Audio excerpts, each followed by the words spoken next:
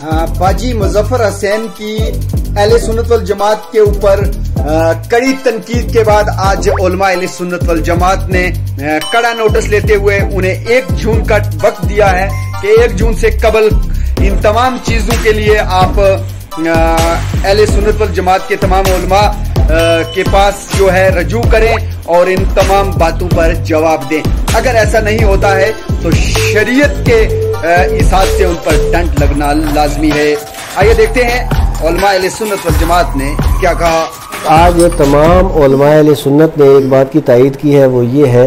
कि हज़रत नांगा बाजी साहब रहमत ताली के पोते, जो बरई के बरई के अंदर रहते हैं, बाजी मुजफ्फर साहब उन्होंने पिछले दिनों में कुछ ऐसे अकवाल कहे हैं जो मुस्तफ़ा करीम इस्लाम की शरीयत के ख़िलाफ़ हैं, कुरान हकीम के ख़िलाफ़ हैं, हजूर अलैहिस्सलाम की हदीस के ख़िलाफ़ हैं और नबी पाक अलैहिस्सलाम की मुक़दस शरीयत के और हजूर अलैहिस्सलाम के मिशन के ख़िलाफ़ हैं। अभी उस ताल्लुक़ से तमाम जो कराम हैं, जमात सुन्नत के, उन्होंने आवाज़ बुलंद की है, उन तक ये बातें पहुँच चुकी हैं।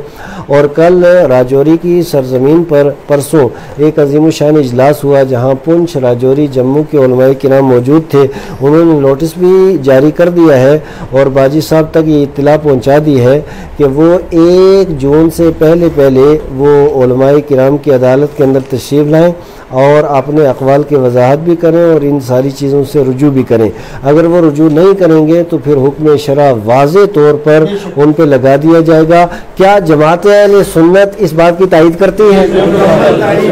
ये सारे लोग अगर बाजी साहब ने अगर रुजू नहीं किया तो सारे लोगों की क्या यही राय है कि उनके ऊपर हुक्म शरा लगना चाहिए? हाँ तो ये सारे अनुमाय कराम ने इस बात की तायद कर दी है और सारे अनुमाय कराम का बाजी साहब से यही मुतालबा है कि बहुत बड़े ख़ानदान के साथ आपका ताल्लुक़ है और हम उसी ख़ानदान के नौकर भी हैं, सादात कराम के हम मतद भी हैं, नबी पाक की शरीत मुतारा के पहरेदार भी हैं। एक बात, सारे लोग